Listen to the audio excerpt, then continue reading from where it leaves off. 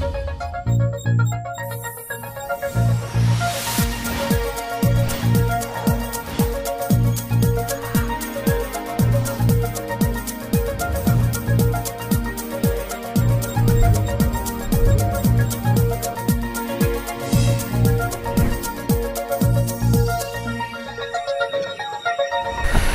Miércoles 13 de enero, muy buenas noches, bienvenidos a una nueva cita con la información comarcal aquí en Noticias Sierra de Cádiz, en Canal Sierra de Cádiz. Un periodo frío, no solo en cuanto a lo climatológicamente hablando y las temperaturas hablando, sino porque ahora nos toca recoger esos frutos de la campaña de Navidad, entre comillas. En aquel momento, pues se tomaron las decisiones de abrir un poco la movilidad, es lógico o por lo menos así lo cree un servidor, es lógico dados los números que entonces teníamos, pero ahora cada día pues nos encontramos con que eh, los datos de la pandemia vienen siendo un poco más negativos en nuestros pueblos. Por suerte, y seguimos ahí y esperemos seguir mucho tiempo, eh, la comarca de la Sierra está siendo de momento la comarca con mejores datos en la provincia de Cádiz. A ver si seguimos eh, con subidas que parecen inevitables, pero contenidas. Ojalá no hubiera subidas, obviamente. Bueno, vamos a hablar a lo largo del informativo de los datos del COVID, pero vamos a comenzar hablando de otras cuestiones que también son, por supuesto, importantes en nuestra comarca de la Sierra de Cádiz. Y vamos a comenzar con una crítica en cuanto a la gestión del gobierno municipal de Bornos en lo referido a un proceso de participación, un proceso para eh, crear una, una bolsa de trabajo de auxiliar administrativo eh, y se llevó a cabo el pasado día 8 de enero un examen en la localidad. Bien, ese examen ha generado numerosas críticas que se han reproducido por las redes sociales eh, sobre la organización del mismo, sobre que no se cumplían los protocolos anti-COVID y sobre incluso que la mala organización llevó a que algunos de los turnos que posteriormente fueron al examen entre unos y otros turnos hubo más de hora y algo de diferencia y dicen que se filtró incluso de móviles a móviles el contenido del examen. Eh, todas estas cuestiones han sido hoy criticadas por el portavoz del Partido Socialista en la localidad, bueno, el secretario de organización del Partido Socialista en la localidad, eh, Juan Sevillano, que directamente ha dicho que todo ha sido una chapuza y ha achacado toda la responsabilidad al gobierno municipal de Izquierda Unida y a la delegación de personal sobre la mala, eh, bajo su criterio, organización de este examen en el que asegura pues eso, que no se ha cumplido ningún protocolo de seguridad, que las medidas anti-COVID no han funcionado eh, y que eh, incluso en el propio examen pues tampoco se han cumplido mm, cuestiones como precisamente eso que todo el mundo tuviera la igualdad a la hora de hacer el examen, aludiendo y asegurando que ha habido incluso filtraciones. Escuchamos a Juan Sevillano. En esta convocatoria había 421 alumnos apuntados, asistieron según, aproximadamente unos 120 y tengo que hablar de las medidas de seguridad que han denunciado la falta de medidas, mejor dicho, pues, han denunciado muchos de los que asistieron en los medios de comunicación y en las redes. Entonces, entre ellos, pues parece que había un señor con un megáfono, lo iban nombrando, eh, al entrar, pues le tomaban con un medidor de temperatura, la temperatura, le daban gel y demás, total, y entraban. Eh, averiaron estos dos aparatos de medidores, que porque tenían dos medidores de temperatura, seguían pasando, entonces entraban en, el aula, eh, no guardaban la distancia, según los comentarios y la denuncia que nos ha llegado, no se guardaba la distancia dentro del aula, aulas abarrotadas, donde había más de 40 personas, sin ventilación y demás, con lo cual parece, según denuncia, esto ha sido un caos en lo que respecta a las medidas de seguridad que obliga la ley actualmente sobre el tema de la pandemia del coronavirus. Y que te guardan una distancia y demás, que parece que aquí no se han guardado. Eh, hay que hacer una desinfección que parece que aquí tampoco se ha llevado a cabo, con lo cual esperemos y Dios los quiera que, a raíz de esta convocatoria, de este examen, pues no salgan contagios, porque entonces ya sería la cosa bastante más grave. Sevillano ha dicho que todo ha sido un desastre y que, eh, por supuesto, además ha añadido mm, que se ha creado una falsa expectativa entre los habitantes. En total, eh, se inscribieron unas 400 y pico de personas, de las que han ido unas 120, como ha dicho el portavoz del Partido Socialista, pero eh, ha asegurado que se ha creado una falsa expectativa porque al fin y al cabo los puestos que se han ofertado o la bolsa que se va a poner en marcha son para cosas puntuales, para bajas, para momentos de necesidad y que incluso no se puede contratar eh, más de seis meses al año a las personas que están en esa bolsa, por lo que dice que como mucho trabajará unas 10 personas en lo que queda de legislatura, como mucho. Así que cree que se han creado además falsas expectativas, además de que todo el proceso ha sido chapucero. Entonces denunciamos desde el Partido Socialista la total las medidas, falta de medidas de seguridad que ha habido en este desarrollo de, diremos, de, del examen y tenemos también que criticar al equipo de gobierno porque lo que respecta digamos, al desarrollo del examen dentro de las aulas es responsabilidad del tribunal, que estaba formado por cinco funcionarios, eh, no del Ayuntamiento Bono, lo único había del Ayuntamiento Bono era el secretario. Entonces, eh, parece que los exámenes se han filtrado, porque yo no, han tardado tanto en entrar, eh, pues, desarrollan cinco aulas y han tardado, pues, según denuncian, vía WhatsApp, pues han filtrado ya los resultados de los exámenes y demás, de unos a otros se lo han ido pasando. Con lo cual, aquí ha habido eh, esto ha sido un desastre. El alcalde siempre habla de mucha transparencia, de transparencia, y veo transparencia, pero traspasando, diéramos, los exámenes unos a otros una vez que ya lo habían efectuado. No se han llevado a cabo las medidas de seguridad, como he dicho antes, como dicen las normativas, con lo cual aquí alguien tiene que tener la responsabilidad. En este caso, entiendo que es el equipo de gobierno, el señor Hugo Palomares, la tercera teniente de alcalde, que es la delegada de personal, ¿eh? por haber organizado tan mal el desarrollo de este examen. Por lo tanto, aquí hay que exigir responsabilidad de alguien. Los alumnos, diremos, o los asistentes, no tienen culpa ninguna. Aquí la culpa, por un lado, en lo que respecta dentro de las aulas la tendrá el tribunal, pero lo que respecta a las medidas de seguridad que no se han llevado a cabo como marcan las normativas, es totalmente del equipo de gobierno. Por lo tanto, y en el tema de filtración del examen, la verdad es que esto ha sido un surro. Y también tengo que aclararle a todos los que se apuntaron para asistir a estas pruebas, a los 471, que esta convocatoria es para cubrir eh, cuando baja de enfermedad, cuando mucha acumulación de trabajo en el ayuntamiento y que el contrato máximo que le hagan a los que le lleguen a hacer, eh, porque aquí serán poquitos, es máximo de seis meses dentro de un año. Es decir, dentro del año lo contratan tres meses, le pueden contratar otros tres, pero se acabó. Hace falta otro, el segundo de la lista. Hará falta otro, el tercero. Entonces quiere decir que esta bolsa dura cuatro años, en esos cuatro años, si llegan a entrar diez o quince, esto lo más. Por lo tanto, han creado una expectativa que yo creo que han confundido a la gente y han engañado a la juventud que se ha presentado a los exámenes.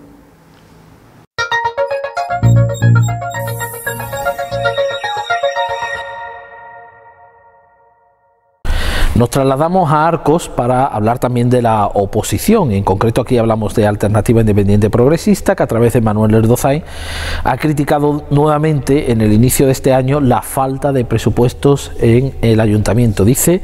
que seremos de los pocos, o por no decir el único ayuntamiento casi en toda España, que tiene seis años prorrogados los presupuestos. El portavoz de AIPRO ha criticado nuevamente que no se sabe nada de las nuevas cuentas, ni se sabe ni se les espera, dicho, ha sido muy crítico nuevamente precisamente con eso, con que el ayuntamiento no saque adelante eh, un presupuesto adecuado a la realidad actual del municipio y que eso supone que prorrogar uno y otro deja sin inversiones propias al municipio.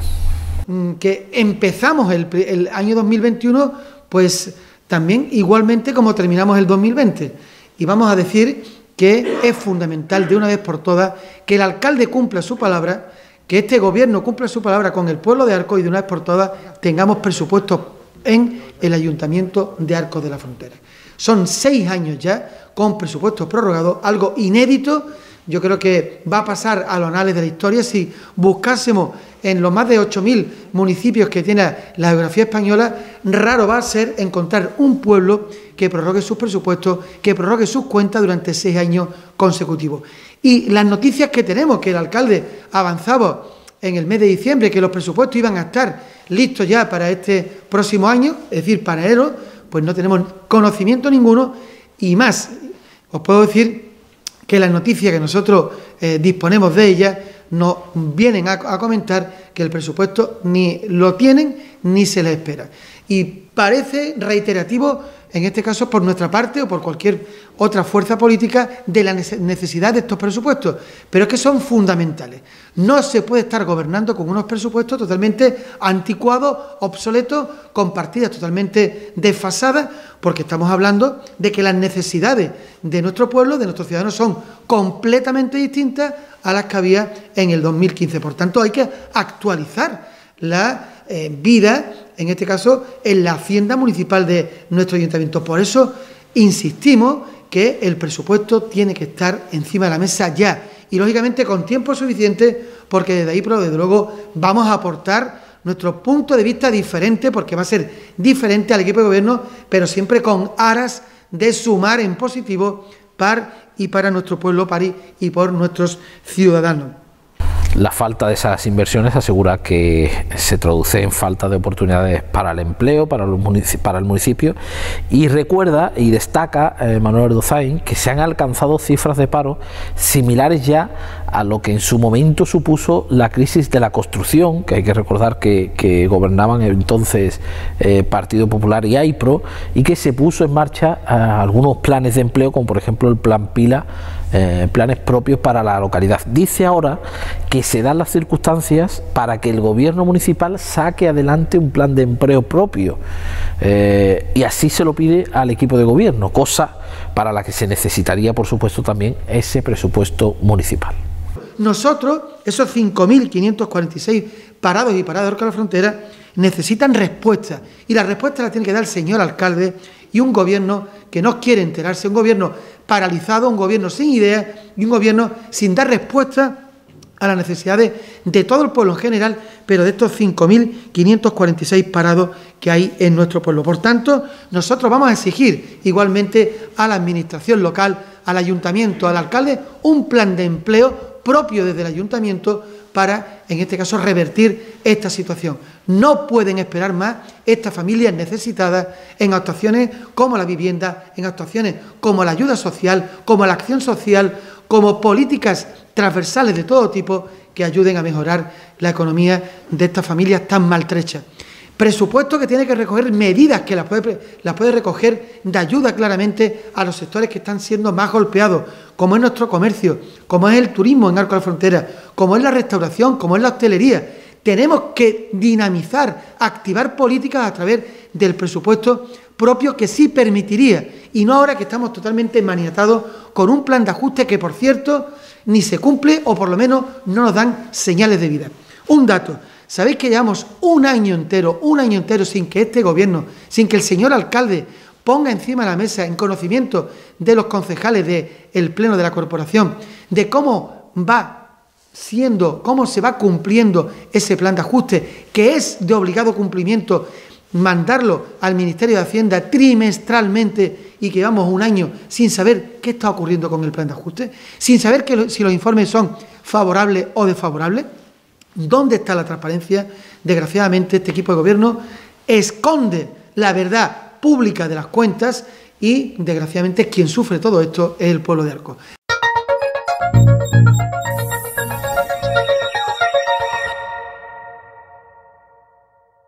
Y Erdozain ha añadido en las críticas que eh, para este 2021 espera que se solucionen otras cuestiones, como por ejemplo mm, poner ya en marcha un nuevo PEGO, que lleva ya décadas la localidad sin él, y que eh, entre otras cuestiones, por ejemplo, Ecoreciclajes, dice la empresa mm, presuntamente mixta, podemos llamarlo así, pues deje de ser un coladero para el enchufismo, ha dicho. Eh, el alcalde de, la localidad, Isidoro Gamín, no ha tardado en responder a Alternativa Independiente Progresista, una de las convocatorias de esta mañana que se ha producido poco después de esta rueda de prensa, se ha referido al tema del presupuesto, el regidor, y ha dicho que se está trabajando en ello, que hay eh, por parte de la intervención municipal un colapso que, que obliga bueno, pues a ir más lento, pero ha asegurado que para este año habrá presupuesto, que contará por supuesto con nuevas inversiones,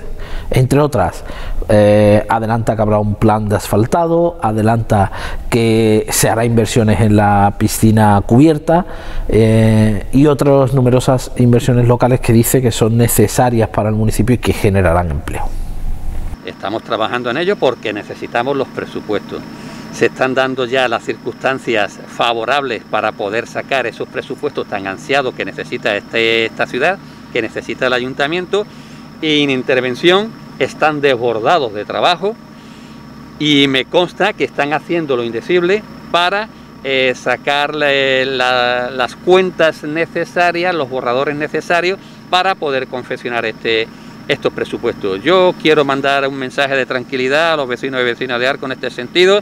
manifestarles que este año vamos a tener presupuesto, que por lo tanto vamos a tener un capítulo de inversiones muy importante y que se van a llevar a cabo inversiones importantes para nuestra localidad, inversiones que son muy necesarias. Entre ellas tenemos previsto pues en el capítulo de inversiones meter una partida importante para la piscina cubierta, meter una partida importante para un plan de asfaltado tan necesario en nuestra localidad, meter un plan eh, importante de inversión para arreglo de carriles rurales nuevamente, etcétera, etcétera. Es decir, que estamos trabajando eh, de manera intensa en ello, necesitamos tiempo y además el personal de intervención y el propio interventor está desbordado de trabajo y están trabajando en ello y próximamente podremos dar buenas noticias al respecto. Y en cuestiones relacionadas con el COVID, lo decíamos al inicio de este espacio informativo, pues la comarca hoy pasa a tener 222 casos confirmados en los últimos 14 días mediante PCR, eso supone 11 más que ayer.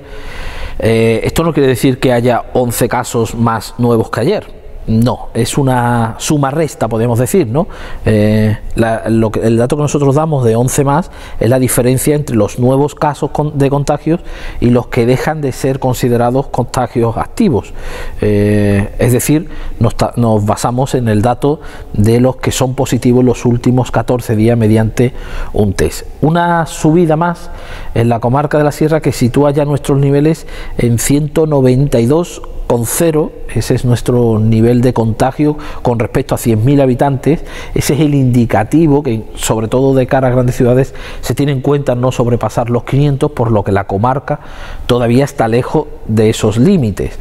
Eh, eso no quiere decir que no haya preocupación, obviamente que la hay. Eh, también decir que eh, de las restantes comarcas sanitarias de la provincia de Cádiz, pues la comarca de la Sierra es la que tiene unos niveles más bajos, el campo de Gibraltar eh, pues está casi cercano a los 700, ahí hay problema ahora mismo importante. Y en la zona de Jerez pues se acercan peligrosamente ya a los 500, por ejemplo,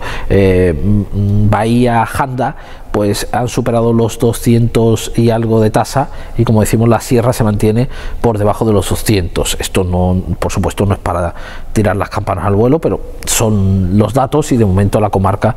eh, se está comportando mm, algo mejor que el resto de la provincia. Por otra parte, Andalucía sigue manteniendo también mejores datos que el resto del país.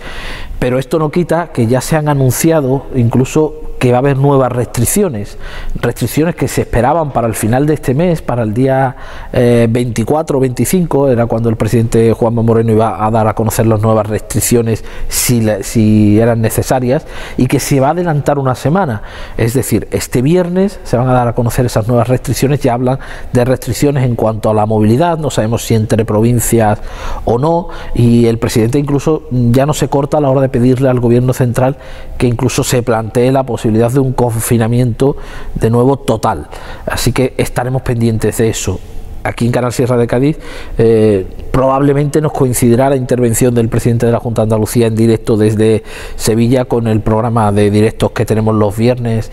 a mediodía. Si es así, la daremos en directo. refiriéndose a, esos, a estos datos, el alcalde de Arcos en su comparecencia de hoy ante los medios, pues ha dicho que vienen dos, tres semanas bastante duras, de mucho crecimiento, e incluso augura que la localidad, que todavía está por debajo de la tasa de 300,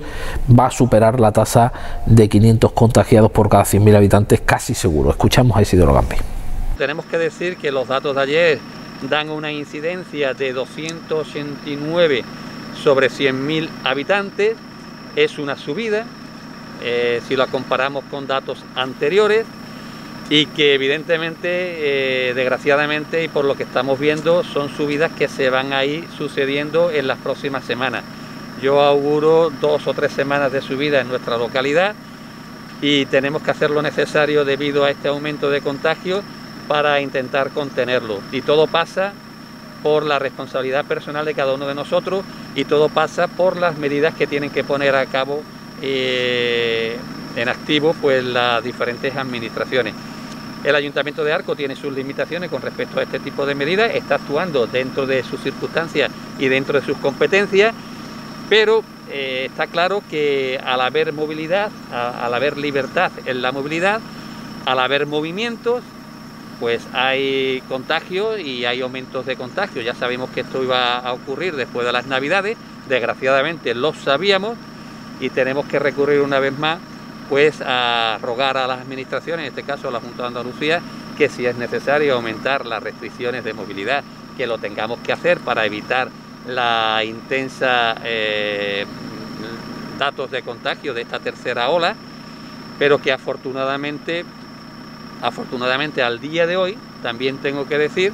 que estamos por debajo de los 500 eh, puntos de incidencia, de la tasa de incidencia, que es lo que marca los límites para mayores actuaciones y esperemos que, hagamos lo imposible, hagamos todo lo que tengamos que hacer para intentar evitar llegar a los 500, pero que desgraciadamente si seguimos así, en pocos días llegaremos a estos 500 y tendremos que eh, estar todavía más alerta y tener mucho más cuidado a la hora de, relacionarnos, a la hora de salir a la calle y eh, llevar a cabo las medidas de protocolo que nos imponen. Y el regidor de Arco, junto al delegado de Infraestructuras, eh, Diego Carrera, han visitado esta mañana algunas obras de adecentamiento que se están llevando a cabo en, eh, en el edificio de la alcaldía, en el edificio noble, por llamarlo de alguna forma, del ayuntamiento. Dice que son obras menores, que no solo se dan en este caso, sino que se actúa en colegios, en otras dependencias municipales, obras del día a día que asegura Diego Carrera que son muy importantes, aunque no sean obras de gran inversión como otras. Son tareas de adecentamiento, como bien he comentado, de mantenimiento, que, son que, llevan a cabo trabajos de albañilería, pintura, electricidad. En definitiva, como bien he dicho, son trabajos para tener los espacios más seguros y más agradables tanto para nuestros trabajadores como para nuestros vecinos. Como bien veis, eh, ahora mismo estamos en, el local de, ensayo de la banda, hemos pintado toda la alcaldía, posteriormente pasaremos a la alcaldía. Como bien digo, el área de infraestructura, una pequeña obra es una gran solución para nuestros vecinos. Hay obras que son más visibles, que están en la calle, eh, y obras menos visibles que están dentro de las dependencias municipales, pero ello no implica que sean tan importantes. También se están poniendo a día eh, los, centros educativos semanalmente, se están poniendo a día las diferentes instalaciones deportivas y, en definitiva, desde el área de infraestructura iremos a todas aquellas pequeñas obras, como bien dicho siempre, que son grandes soluciones para todos nuestros vecinos. Y para Gambín, estas actuaciones menores también permiten que los ciudadanos, los colectivos que también participan eh, eh, de la vida pública de la localidad y que utilizan algunas instalaciones municipales, eh, todos en definitiva, los vecinos puedan aprovechar de contar con unas instalaciones mucho más adecuadas. No solamente la utilizan los empleados municipales, sino también la disponemos para diversos sectores eh, para colectivos sociales, para la banda de música, etcétera, etcétera. Y por lo tanto es una tarea eh, que tenemos que llevar a cabo, ese mantenimiento constante de nuestras instalaciones para que estén en las perfectas condiciones para poder disponerlas también con total seguridad y tranquilidad por parte de los usuarios de nuestra localidad que utilizan estas dependencias. Estamos intentando que durante esta terrible pandemia actuar para mejorarlas eh, en todo lo que podamos. Ya lo ha comentado mi compañero Diego Carrera, delegado de infraestructura. Estamos actuando en los campos de fútbol de césped artificial, que están muy deteriorados por el gran uso que se está haciendo, eh, cambiando la parte del césped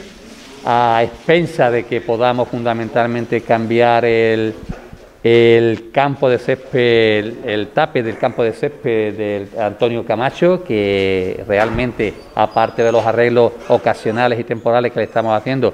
es una necesidad prioritaria la de cambiar íntegramente este campo de césped por el gran uso que le estamos dando gracias a, a la gran cantidad de usuarios que tenemos. ¿no?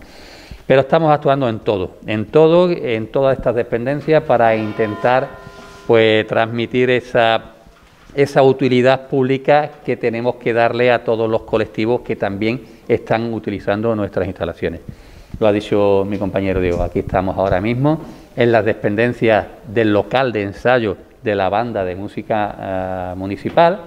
donde evidentemente no se encontraba en buenas condiciones, pero con esta reforma integral que que se le está haciendo, pues le vamos a dar una total seguridad y tranquilidad para que los miembros de la banda eh, ensayen, lógicamente, con cierta tranquilidad, ¿verdad? Pero también, eh, como no podía ser de otra manera, el gasto público que está generando todas estas inversiones repercute y beneficia pues a toda la ciudad que en, en definitiva son las que disponen también de estas dependencias municipales. ¿Y cómo lo hacemos? Lo hacemos gracias al gran trabajo que realizan las personas que contratamos, gracias al gran trabajo que realizan las personas que legalmente son contratadas por el ayuntamiento a través de las ofertas públicas de empleo, del SAE o a través de las bolsas de trabajo. Y vamos a conocer las previsiones del tiempo que nos traen desde la Agencia Estatal de Meteorología, que son estas.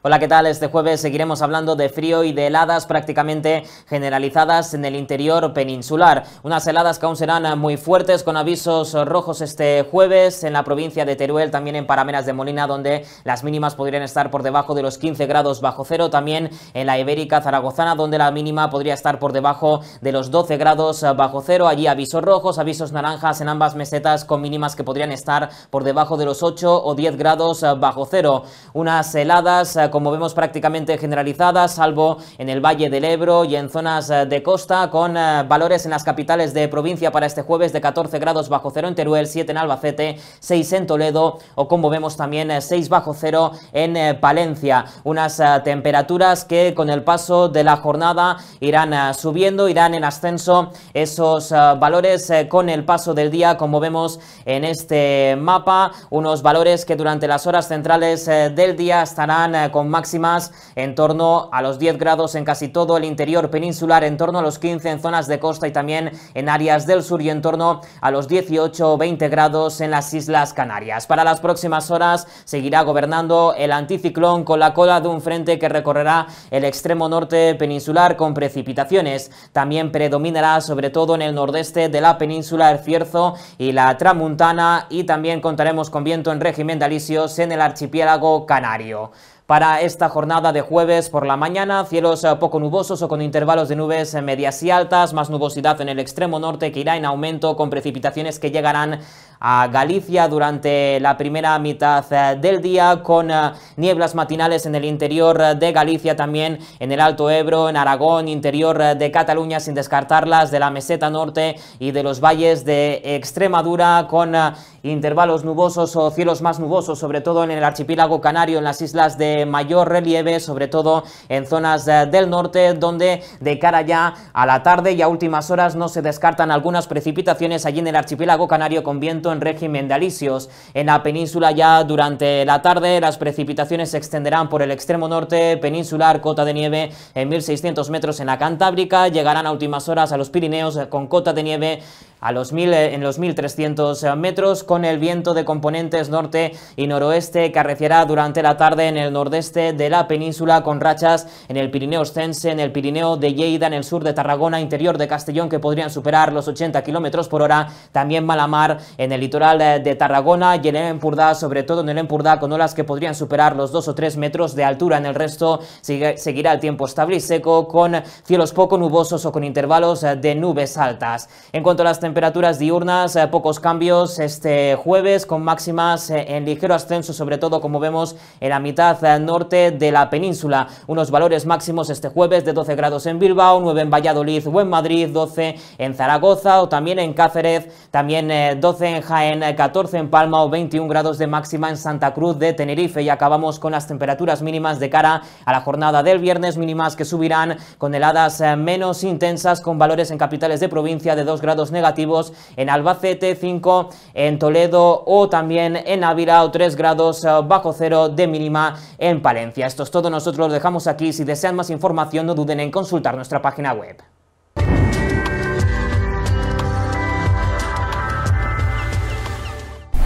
Esto ha sido todo por hoy. Muchas gracias por su atención. Volveremos mañana con más información aquí en Noticias Sierra de Cádiz, en canal Sierra de Cádiz. Sean felices. Hasta mañana.